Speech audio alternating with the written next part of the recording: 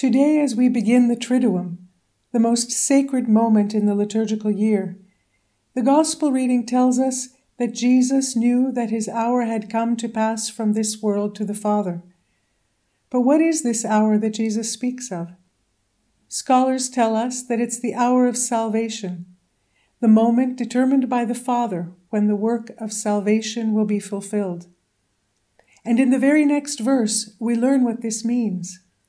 It's the hour of loving to the end, of loving to the extreme in a very personal and intimate way.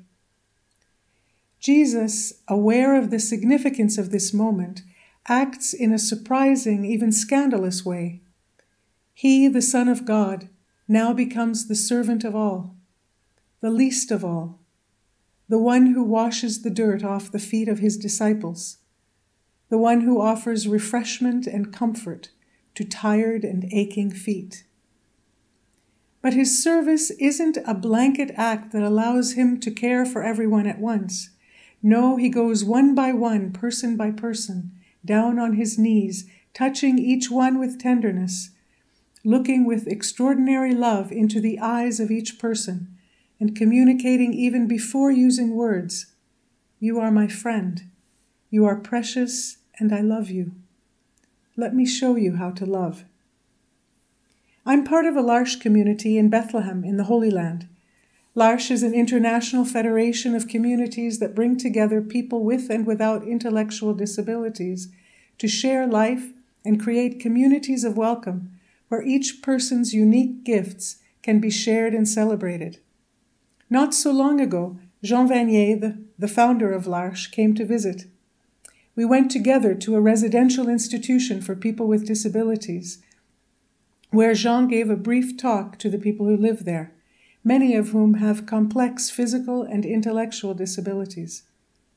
Jean told stories of his experience in community and spoke to them of the importance of every human life.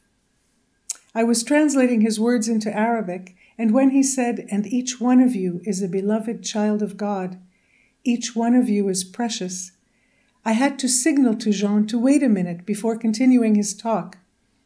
Because as soon as I translated the words, Each one of you is precious, Ahmed, a young man in a wheelchair who has a profound disability and who had been listening intently, asked, Even me?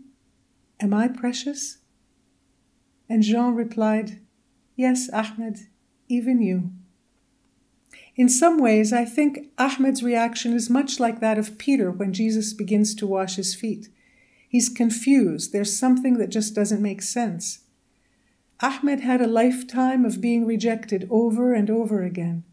His experience told him that he wasn't of any value, that he was worth less than other people who didn't have a disability. And then, when someone looks at him and loves him, and affirms that in fact he is of infinite value. His life is forever changed. He's no longer on the margins, but has somehow been invited through love to enter into relationship with others and to offer his unique gift. Peter too is confused, not only because Jesus, the Master, has now become a servant. He's even more confused by this intimate gesture of love through which he experiences that in the eyes of Jesus, he is indeed precious. It's almost too much to bear. No, you will never wash my feet, he says. But Jesus seems to be saying, I wash your feet to show you that I love you, that you are of infinite value. Yes, even you, Peter. Unless I wash your feet, unless you accept my love, we can no longer be friends. You can have nothing in common with me. On this dark night before he is crucified, Jesus reveals the depths of his love and invites his disciples into a new kind of intimacy, the intimacy of friendship expressed in communion and service. And he says, I have given you a model to follow. So the question for us this evening is can we say yes to Jesus' invitation? Can we choose to love to the utmost? to engage humbly with one person at a time, to offer refreshment and tenderness to the weary soul, to look with extraordinary love into the eyes of the person in front of us, and convey that they are of infinite value? If indeed this is possible, then we will know that the hour of salvation has come.